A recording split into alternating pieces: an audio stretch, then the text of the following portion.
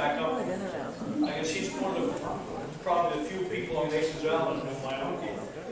But I guess uh, if my uncle was here today, he could tell you what Arthur was like when he was a young man. The stories I got was he was a real hellraiser.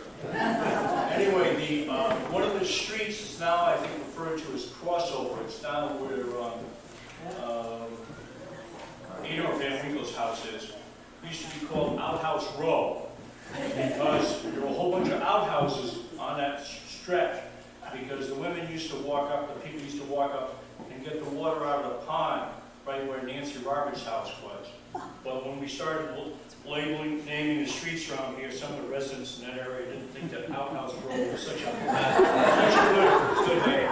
It's sort of like up in Mystic, there was a slaughterhouse up on top of the hill, and it was always called Slaughterhouse Hill. But when the town officially named the street, they had to name it, I don't know, some, something else. Miss Tucker. Let's talk to that's right. And this Slaughterhouse Hill just didn't fit in very well. I'm sure there was a slaughterhouse there. The, uh, one of the things, I think, for people who are new to the area, uh, the three books I really recommend that if you're interested in the history of the area, there might be. There's one, Major John Mason's Great Island. It's really a pretty interesting book. I read it every once in a while. And tell us about the history of the island from, from back when the Mason first got it.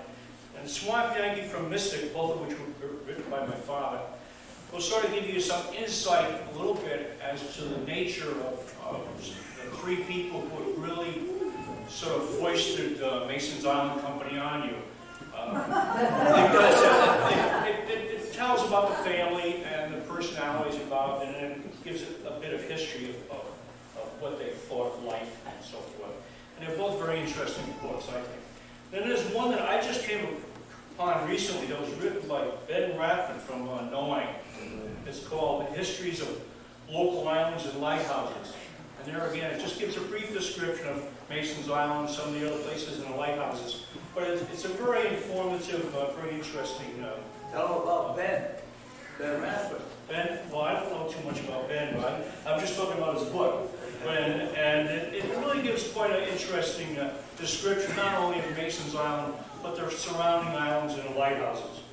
Um, I didn't realize, I guess, you know, interesting here, that my grandfather was the one responsible for chasing some people out of here, but uh, he did have the reputation as having a very strong temper. He had a very short temper. But he also was very in love with style.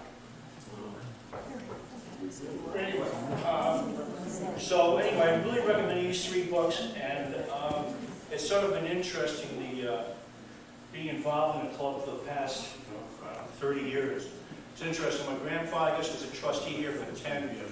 My father for about 20 years, and I've been a trustee for over 30 years. And you see members come and go, you see Commodores come and go, and some of the same things come up over and over again, and then things change, but they really don't change that much. Uh, One thing that really has changed, up until the 1950s, this was a, the island and the club itself was pretty much like most of the uh, areas along the shoreline. This was strictly a WASP community. We were all from the, went to the same churches, same schools, and uh, it wasn't until the 50s when the Glockies moved here to Mason's Island.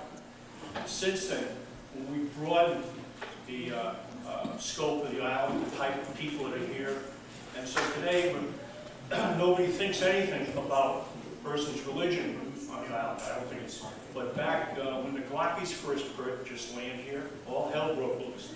East Forest Road was about to hang my father, because some of the people were now dead. We're very concerned that Pope was arriving on Mason's Island. But, no, we have survived the invasion of the Catholics. And uh, we've survived the invasion of other, other groups that at one time were not thought acceptable here on Mason's Island and a lot of other communities.